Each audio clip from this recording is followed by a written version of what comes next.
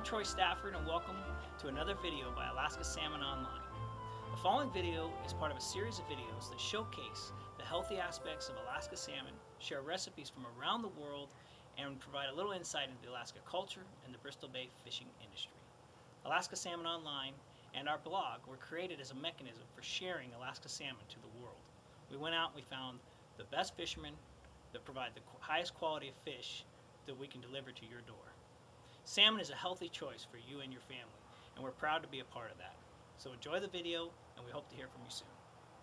We're with Ty Stafford, Director of our Fishing Operations in Egegik. Ty is going to explain to us how we do quality control and how we decide which fish we're going to uh, send to be processed and which ones don't make it. So go ahead and show us um, some examples. There's a nice, smaller silver, not, not overly huge. Uh, there's about an average size fish that we're getting here in Egegik. Uh, good firm fish, nice stiff.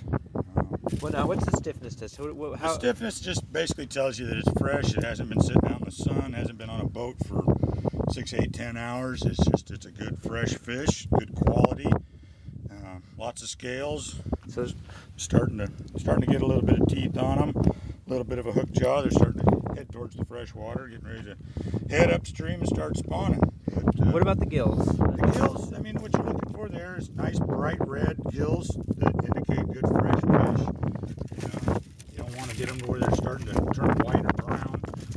It's an indication that they're getting to be an older fish. Um, lots of good scales.